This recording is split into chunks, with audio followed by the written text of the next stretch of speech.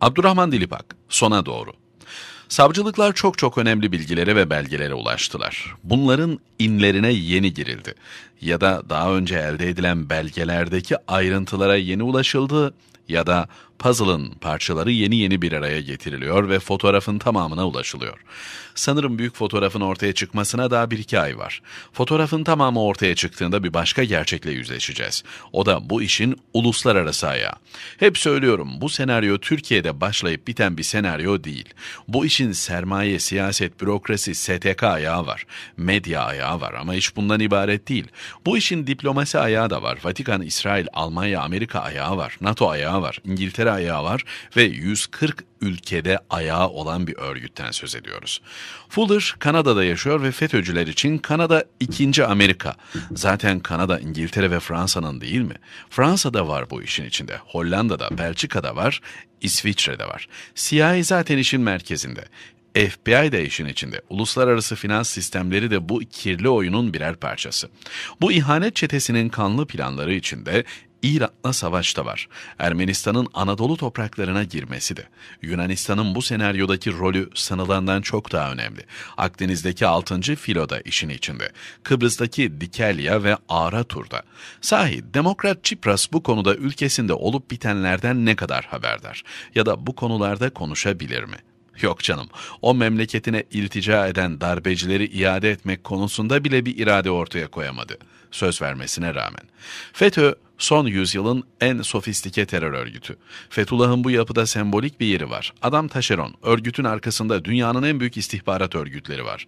Ve bu proje tarihin akış yönünü değiştirme iddiasına sahip 100 yılın en önemli senaryosu. FETÖ, 50 yılı aşkın efendilerine hizmet etmiş bir ajan. 1990 sonrası da CIA'nin emrinde bu projeye hizmet ediyor. 27 yıllık bir emek söz konusu. 60-70 kuluçka dönemi, 70-80 civciv çıraklık, 80-90 kalfalık, 90-2000 ustalık, 2000 sonrası eylem.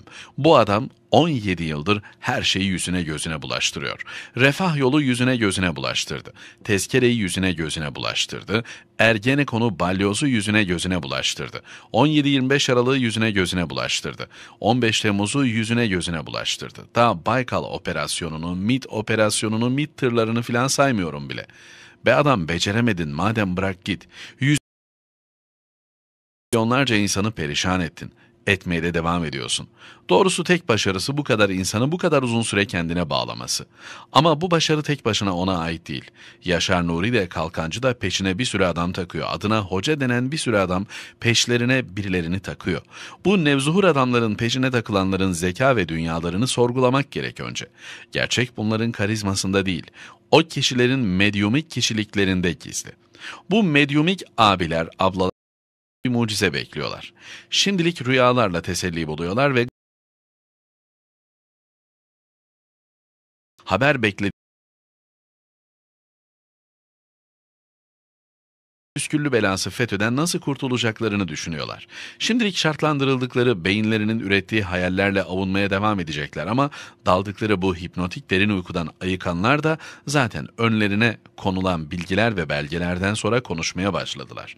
Hala yarım yamalak şeyler söylüyorlar sanki. Fethullah'tan kopanların bir kısmı da bu adamın adamlarından ya da onun ezoterik güçlerinden korkuyorlar. Hoca efendi aşkı zaman içinde korkuya dönüştü öfkeye dönüşünce daha çok şey söyleyecekleri olacaktır. Adam Pensilvanya'dan hep tarih veriyor. Şimdi referandumu sonucu için Nisan'ı bekleyecekler. Adam hala Amerika'da ya, bu onların umutlarını artırdı. Fitch, SP, dolardaki artış biraz moral verdi adamlara. Şimdi referandum öncesi CHP, HDP, Meral Akşener ve o çizgideki gruplara destek verecekler. Belki farkında değiller ama bu destek aslında geri tepiyor. Bu süreçte aklı karışan sempatizanlar ne olup bittiğini anlamadıkları bu yapıdan giderek uzaklaşıyorlar. Yani örgüt sosyolojik tabanını hızla kaybediyor. Geriye kriptolar, ablalar, abiler, imamlar kaldı. Onlar da sıranın kendilerine geleceği günün korkusuyla bekleşiyorlar. Sona kalanları daha büyük bir hesaplaşma bekliyor. Çünkü daha fazla belge, daha fazla bilgi, daha fazla tanık söz konusu olacak. Kaçamayacaklar da. Kaçanlar da yarın FETÖ gidince kurda kuşa yem olacaklar. Kimi bir takım istihbarat örgütlerinin maşası olacak, bir kısmı kendini unutturmaya çalışacak. Bir kısmı intihar edecek, bir kısmı iade edilecek ya da bir şekilde yakalanacak ya da bulundukları ülkelerde tutuklanacaklar. 2017 bu açıdan önemli bir yıl onlar için. Bazıları oradan kaçıp kendi ülkelerine sığınacaklar. Hapse girme pahasına. Orada bugün söyledikleri her söz yarın önlerine konacak bir hesap olacak. Zaten onlar da artık bunun farkına varmaya başladılar. Kripto fedailer onlar üzerinde kırbaç şaklatmaya tehdide başlattılar. FETÖ sonrası parayı kontrol edenler artık öyle kolay harcayamayacaklar. Bu paralara bulundukları ülkelerde el konulacak, bunları kimse kendi başına bırakmaz. FETÖ'de bir yandan sona yaklaşılıyor, bir yandan da eleğin üstündeki iri dişlere geliyor sıra. Bu iş Baylok'tan ibaret değil uydu network'ü Raspberry Pi üzerinden, Deep Web üzerinden haberleşenlere daha sıra gelmedi. Daha medyada bir sürü adam var. Siyaset ve bürokraside, yerel yönetimlerde. Büyük ananaslara gelecek sıra. Yabancıların Türkiye'deki taşeronu büyük iş adamlarına, bir takım STK'lara, NLP ve benzeri yapılara gelecek sıra. Döviz spekülatörlerine, özgül ağırlığı yüksek elemanlara, uluslararası örgütler ve ülkelerdeki uzantılarına gelince daha sıra onlara da gelecek. 2017 bu açıdan önemli. 2020'ye kadar kadar davalar açılmaya devam eder. 2023'ten önce inşallah artık bu örgüt PKK, PYD, DHKPC gündemden düşer de Türkiye yoluna devam eder. Keşke zaman varken aileleri kendi çocuklarını yargıya teslim edenler, kaçanlar dönseler. Bunlar kendilerini kurtardıklarını zannederken bir yalan uğruna bütün ailelerini ve yakınlarını yakıyorlar. Bir utanca ve yalnızlığa mahkum ediyorlar. Kendi ülkelerine, halklarına ve dünya Müslümanlarına karşı şeytani bir tuzağın kirli, kanlı, karanlık bir oyunun parçası parçası oluyorlar. Keşke akletseler. Selam ve dua ile. Abdurrahman Dilipak, Yeni Akit.